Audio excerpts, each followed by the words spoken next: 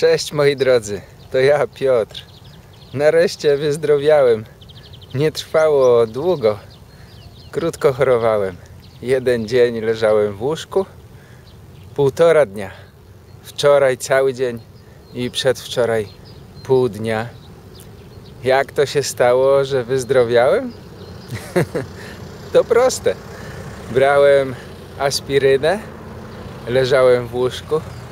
Ania zrobiła mi pyszny, gorący rosół i wasze życzenia zdrowia pomogły.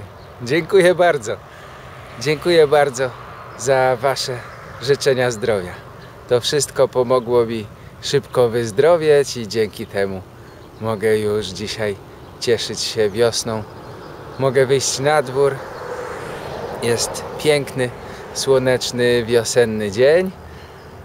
Pachnie wiosną. Naprawdę czuć wiosnę. Jest wspaniale. Jest ciepło. Nie ma tego zimnego wiatru, który był do tej pory. Dziękuję wszystkim bardzo serdecznie za życzenia zdrowia. Dziękuję Wam z całego serca.